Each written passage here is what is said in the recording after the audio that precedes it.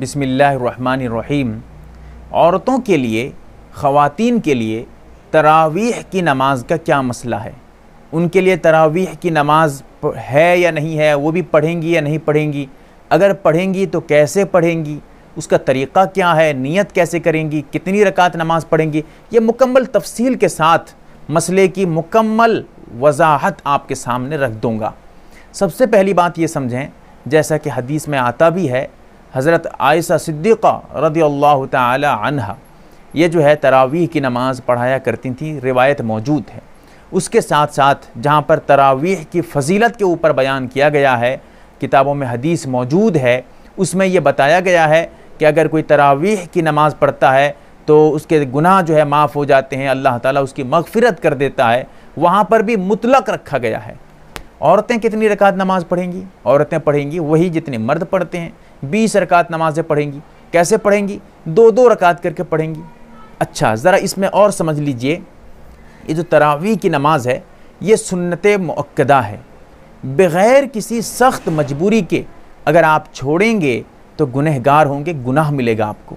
اس لیے اس کو پڑھنے کی کوشش کریں۔ عورتیں ہی کیوں نہ ہو ان کے لیے بھی ضروری ہے۔ عورتیں سمجھتی ہیں کہ تراویح تو صرف مردوں کے لیے ہم کیوں پڑھیں گی؟ نہیں، آپ کے لیے بھی پڑھنا ضروری ہے۔ اس کے ساتھ ساتھ دو دو رکعت کر کے پڑھیں گی، بیس رکعت پڑھیں گی۔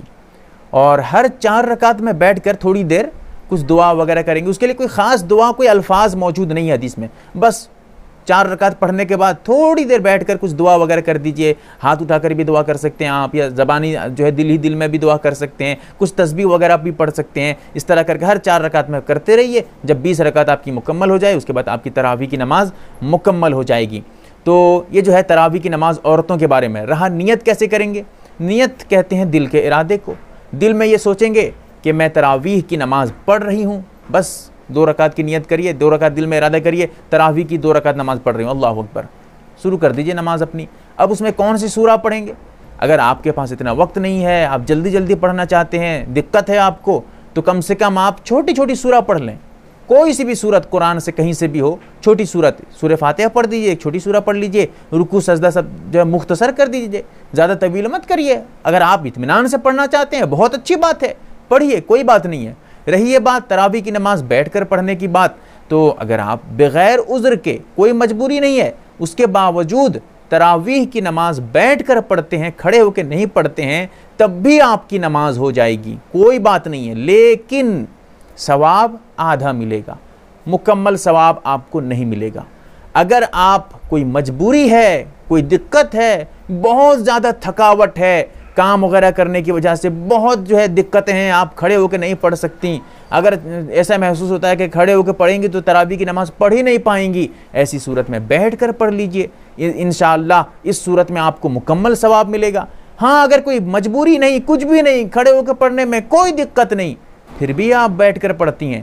تو ایسی صورت میں آپ کو آدھا ثواب ملے گا، لیکن نماز ہو جائے گی۔ میں اس لیے یہ مسئلہ بتا رہا ہوں تاکہ تراویح کی نماز نہ پڑھنا چھوڑ دینا، یہ گناہ ہے۔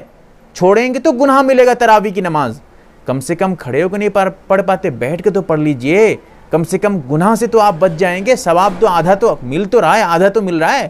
لیکن ہرگز یہ مطلب نہیں ہے کہ تراوی کی نماز بیٹھ کر پڑھی جائے، تراوی کی نماز کھڑے ہو کے پڑھنے کی کوشش کریں، یہ آپ کے لیے صحیح ہوگا، زیادہ ثواب کے حقدار بنیں گے۔ جلدی جلدی پڑھ لیجیے، جیسے میں نے بتایا ہے آپ کو۔ اس کے ساتھ ایک اور مسئلہ ہے، عورتیں جو ہے تراوی کی نماز جو پڑھیں، وہ الگ الگ پڑھیں، جماعت کر کے نہ پڑھیں۔